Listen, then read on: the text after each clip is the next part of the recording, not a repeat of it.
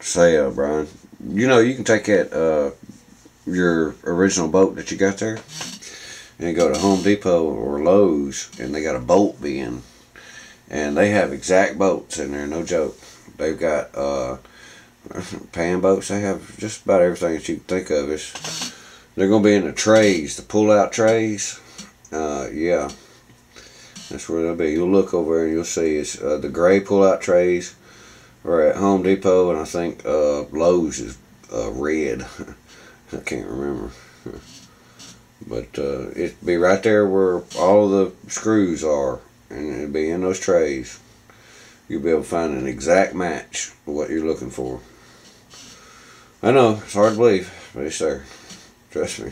I found some crazy stuff there. I wouldn't think I'd find anywhere, but I just went in there and started looking. You know, they do. They got tractor pins. They got uh, every kind of little bitty pin that you can think would go on a tractor. Nuts, bolts, and all that.